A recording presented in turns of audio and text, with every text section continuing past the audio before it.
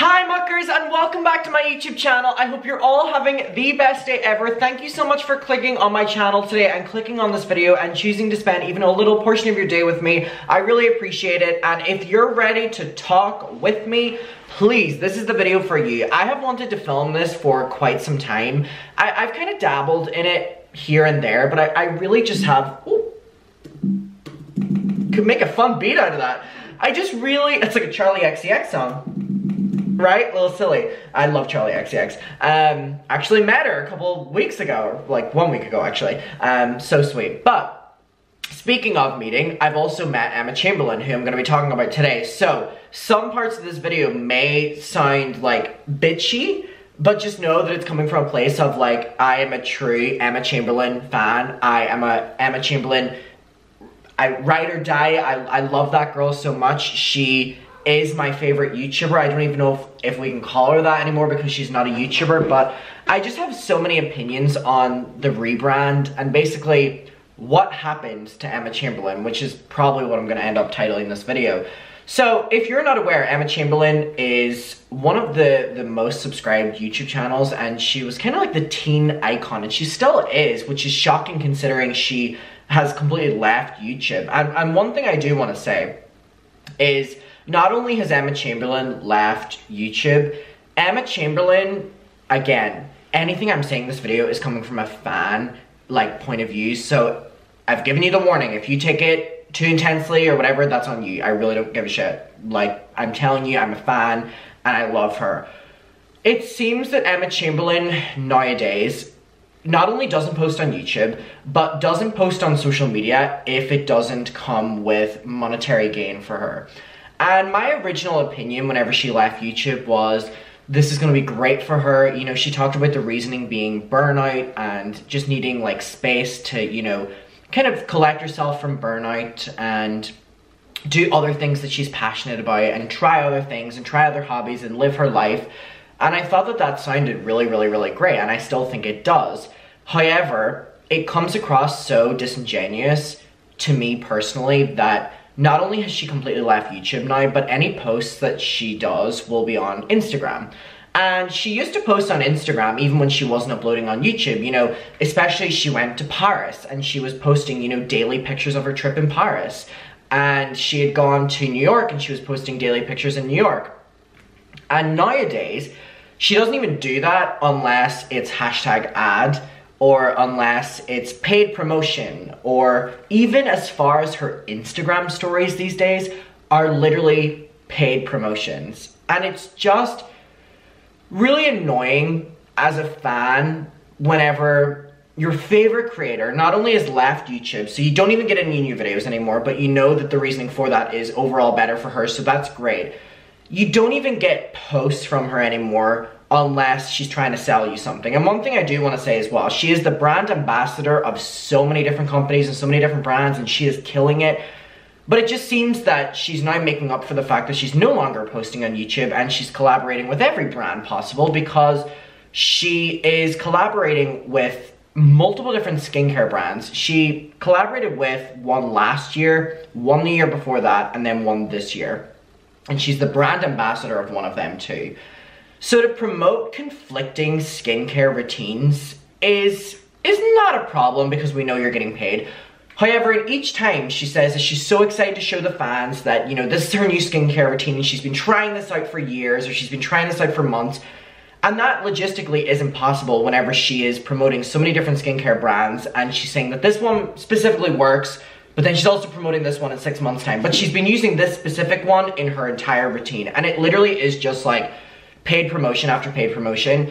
And one of the big controversies around Emma leaving was the build up to it was people were saying that they didn't feel like she was being authentic in her content anymore. And I made an entire video on this defending her. The criticism was that she isn't being truthful about the life she lives. She films a vlog, so she's a vlogger, right? And she's been doing it since like 2017 or something like that. Um, and she really skyrocketed to fame um, through doing that, through being the relatable girl, and obviously as she grew in fame, her relatability to me and you was lessened and lessened because we're not being invited to, you know, Louis Vuitton shows and we're not going to, you know, all these different like fun things, right? So she was then getting called out for not showing that side of her life. Like her vlogs maintained her just going for coffee and you know doing boring stuff like reading a book or staying in bed all day and cooking. So people really, like a small group of people, which then turned to a big group of people, and it was never her fans, started getting really angry that they felt that they were being lied to because in her videos she would say that she didn't have any friends, she had no social life, she never went to parties, she was this boring person, and then people would be like, but people are posting pictures of you on Instagram with Kendall Jenner at dinners, or you're being seen at Vogue parties, or you're going to the Met Gala. And there were moments that she has shown, and she really did water it down. And my opinion on that was I never saw anything wrong with it. I think to keep a level of relatability is great with your audience because it's something that we can watch and we can relate to. Would I also love to watch her doing the extravagant things? Yeah, because I can't relate to that and it's exciting to watch. The same way it was exciting to watch Jeffree and Shane live a magnificent life, even though we don't like them at all, a magnificent life that we'll not really live. It's exciting to see something that we're not used to, right? So I see both sides of it, but one of the things was I said in my original video that Emma Chamberlain is getting criticism for not showing her authentic life and living a boring life. And I said that not only does she probably live a boring life most days of the week and then do exciting things, if she was to show the over-the-top parties and meeting all these celebrities and going to all these dinners and all these big money expensive trips and all like that, she would be said that she is not relatable anymore. However, now that she's showing a more boring life, people are saying that she's trying to be too relatable, so it is a lose-lose situation for her, which is why I believe that it ended up her leaving the platform because she couldn't win either way. She was getting criticism for showing too little, and then whenever she wouldn't show anything, she was getting criticism for not showing that. It was just a complete mess, and my opinion on it was that I just felt bad for her, and it obviously built up so much that she couldn't take it anymore, and that with burnout, she left.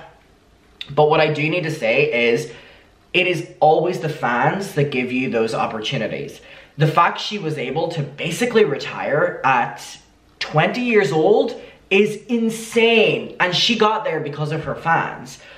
So to completely stop posting on every single social media unless you're being paid to do so is very disingenuous to your fans. And she still has her podcast, which is a great podcast. It's called Anything Goes. And I would really recommend if you like Emma Chamberlain content or even just podcast to try it out. It's, it's really entertaining. People have been calling that out as well because of how ad like heavy it has gotten ever since she's left YouTube because obviously she's making up for lost income. Um, so one thing I do need to say is I'm holding on faith because she still has the podcast and it's nice to have that it's, you know, sad to not have videos from her and it's sad to not get Instagram posts whenever she's not trying to shove a, a, product down my throat or, you know, try to sell me something. And again, as harsh as all that sounds, it's coming from a place of, I just miss her. And so whenever you go on, there's this page, for example, it's called Emma Chamberlain Updates, and they're actually like a really great page. Um, they, they post all these things about where she's seen and stuff, and it's like, you know, she's seen by fans going to all these events. You know, fans will take pictures with her and she still takes pictures of them. She was really nice to me both times. And people are like, wow, she's going and doing the most exciting stuff and she's not even posting any of it on social media. And that is literally her job. That is her job. But the issue is she is posting things on social media, but it's a very orchestrated, brand friendly, trying to sell you things. And it reminds me of whenever beauty gurus were first exposed for only doing things for money. You know, the, the hashtag ad phenomenon where I think it was Here for the Tea had exposed, was it Jaclyn Hill? Yeah, for, you know, just doing things for money. And I'm gonna be honest, that's what seems like Emma Chamberlain's doing. Obviously because she wants to take all this time off YouTube and she basically left YouTube. She now has to make her money somewhere. But things like this, she's always seen at parties with Kendall Jenner, um, she's always seen with like these are really big celebrities, right? So she's seen with Kate Hudson and Kelly Sawyer and if you scroll down here, even the, the updates from the update accounts are mostly sponsored posts. So the only videos she's recently posted has been one with her mother. Here we have it, and she's talking about Mother's Day and even this, which is the, the first bit of crumbs that Emma has given, oh my god, look, you can see it's starting to get bright out because it's 5 a.m. The first bit of crumbs that Emma gives us of content in quite some time that's actually video, again, is paid. It's Macy's. It's, sorry, so disingenuous whenever your only form of content with your viewers now, except your podcast, is just making money. There's no other creator I think that would really get away with this, and I think the reason is that Emma has such a big like parasocial relationship with her fans that you know they really do think that they're a best friend. I can speak for myself, um, but just to you know, just turn your entire style into paid post after paid post, and I'm not going to post anything even just for fun anymore. It's really sad to see that it turned out that way. So anyway, um, there was also a lot of uh, Coachella posts that she did, and a lot of her Coachella posts, um, believe it or not, were uh, paid ones because they were with um, certain designers. Um, and actually, I did see a lot of people DM me that they didn't explicitly say hashtag ad on them, but they were paid. Um, someone had like DMs or something or emails about that she was like paid for some sort of post. I'm just gonna say allegedly with that. But even at that, like Coachella posts as well, being like paid for, it's this was once a YouTuber who, even if they didn't do a video on it, would at least do a tweet every once in a while, like updating the fans on how they're doing with the opportunities that the fans have given them. Or or maybe an Instagram story, just a quick picture to update the fans instead of, you know, another one updating them, but it's hashtag ad, selling your product, paid promotion. It just kind of seems like the content creator doesn't care anymore. So literally just scrolling through this, it is just uh, brand deal after brand deal after brand deal.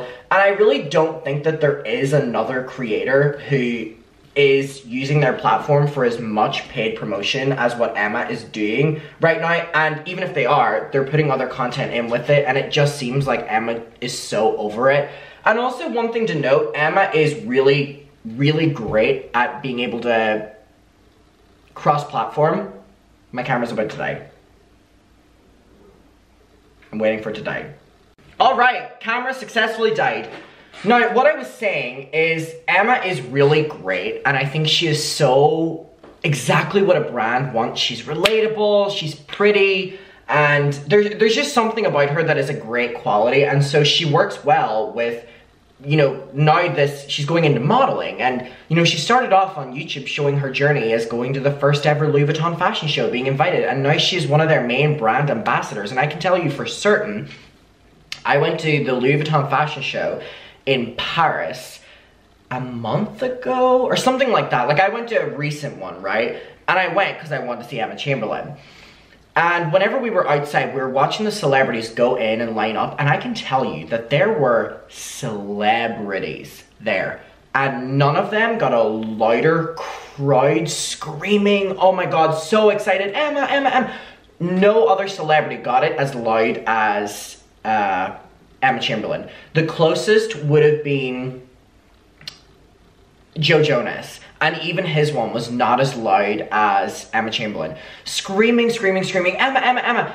And one thing I do need to say, I tweeted this in the moment. This is, you know, in the wake of Emma not being, you know, for the fans anymore, in my opinion. She was the only celebrity there who ignored the screaming crowd. And the screaming crowd were mostly there for her. It was all people my age. There were um, a lot of really sweet girls there. And we were screaming so, so, so loud. And here's the thing. You don't have to acknowledge the crowd or whatever. But all the other celebrities were coming over, posing for the paparazzi, posing for the fans and the big crowd, and then going in. Or even posing for paparazzi, waving and going in. Emma was the only one who uh, walked past the paparazzi, walked past the fans, and just ignored all, filmed a video uh, for Louis Vuitton in like a corner where we could all see her, everyone was screaming. Um, she didn't wave or anything, she didn't look at us, and she just walked straight in. And I remember that there were so many angry fans there that day, so many pissed off Emma fans. I ended up leaving early, and it was super interesting because a lot of the girls there were like, oh my god, ever since she's left YouTube, like she just doesn't care about her fans anymore. And I remember sticking up for her in that moment. And I was like, if this was my first ever experience seeing Emma Chamberlain where she ignored the fans screaming, and I mean, they were so loud. In, in Louis Vuitton's video, in the background, you can even hear it. No other person got it as loud as her, and she completely just blanked it, even though she was like so in front of us, or just a little bit in front of us. I remember saying to the girls, I was like, if that was my only experience seeing Emma, I would think that she was so fake, so rude, but I had met her in Paris a year before, or a couple months before, and then also met her in LA, whenever I met her in Paris, it was at a Louis Vuitton event. So she was kind of working whenever she met me. So she had a, a nice attitude with it. And I really appreciate that. And she was so sweet and literally one of the best moments of my entire life. Like my favorite YouTuber this is. And then in LA, I met her at her boyfriend's concert. I was waiting for um, Spell Session Cat. They were late. And I had to wait outside like 40 minutes after the show started. And then they finally were getting there in two minutes. So I was about to go in. And Emma Chamberlain was in front of me going in late. And I knew that she didn't want to be seen by anyone because there's a lot of fans who go to the shows and just take pictures with her or try to get pictures of her. And even during the intervals of, of role model Tucker's songs, they were like, "What do you want, Emma?" And it was just so inappropriate. Um, I was like, "Hi, Emma. Like, I, I saw you in Paris. Like, it's so good to see you. You look beautiful." And she was like, "Oh, thank you." And she turned away again. And I went, I went, "Sorry to be annoying, but am I able to get a picture?" I knew she didn't want to get one. She had not been spotted by any other fans. That's why she went in late fair fucks her, she still went, yeah, that's no problem. She came over, gave me a hug, took the picture, and went in. So I've met her in a, in a formal setting and a very informal one, and she has been nothing but polite and sweet to me, and she was not on YouTube during the, the second meeting, the LA one.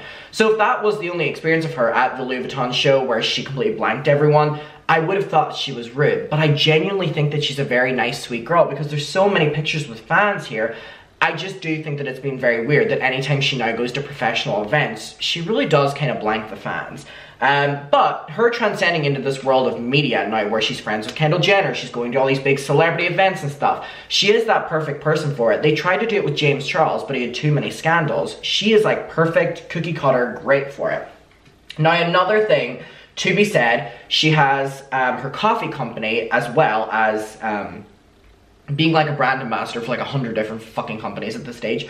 Um, so she has good streams of income. So that's another kind of annoying factor when the only thing she'll post really is, you know, to be paid. Um, now, also another thing is her boyfriend, role model. For the entire duration of her YouTube channel, she um, didn't address the fact that they were dating, which I fully supported. I know there were a lot of people having problems with that. I thought it was actually great. I mean, I don't want to know about your relationship. I just think it's sweet and cute. Um, whenever she did leave YouTube, however, that's whenever they started to make their relationship a bit more known to everyone. So he has a music video for a great song, and the entire video, albeit very cringy, um, is, and I'm actually going to see him in London, but this is just like a bit cringe, um, is Emma walking the streets, and he's in front dancing to her, so obviously they made the relationship known then. And also she went on the Call Her Daddy podcast and uh, was talking about sex, was talking briefly about her boyfriend and drama and stuff like that. And it, it, it was a completely different side of her than anyone ever saw on her YouTube. So a lot of people were like, oh my God, is anyone else shocked that, you know, there's this side of Emma and we never got to see it? And there's just so many like different things about her ever since leaving YouTube. And again, I fully respect and love the decision. I hope she's resting and healing and all like that from all the burnout. Um, but I, I just wish that her approach with it on cross platforms would be a bit more like nice to the fans, you know what I mean? Like an Instagram post whenever that's your job isn't hard to do at all, literally at all. Especially when you're taking them anyway, but you're like refusing to post them unless you're getting paid. I don't know. And I had pulled up uh, her YouTube channel as well. So she has 11.4 million subscribers. Uh, her last video now is nearly five months ago, and it was um, a video of her just making soup. Um, it is as boring as it sounds, and I do love her. It, it, was very clear that she was reaching the end of wanting to make content here. Um, but you know, you can reach the end of wanting to make content and also know that you are being invited to events and stuff because of your fan base got you there that's just my take on it. And I feel like if it was any other YouTuber, they would have got a lot called out by now. And I'm not trying to call her out. I'm just trying to have like a conversation about it because I'm such a big fan. And I hope that there's other people out there who have an opinion on it, who maybe are fans as well, or even not. I want to know your take on it. I don't know, that's, I just really want to know what you think about this. Again, I really do love Emma Chamberlain uh, so, so, so much. And again, to prove, because I know there's going to be so many people, and I, I hate that this is going to be the angle that people take with this video. I'm literally on my Instagram right now. To prove to you how much I am an Emma, right or die, I love her so fucking much. This video is literally coming from a place of just like, I miss her. Um, so literally, here we are in LA, so sweet. And then even sweeter to me was in Paris I really love this girl and I just miss her and I know that people have been having this conversation online and I would love to know what yours is on it. I saw that Spill Sesh had just posted a video. I'm yet to watch it, but I, I can't wait to watch it. it it's like um, what happened with the Dolan twins and that made me think and I was like, I would love to talk about what happened with Emma Chamberlain. Um, so anyway, I love you. I will see you in my next one and let me know your opinion on this and bye.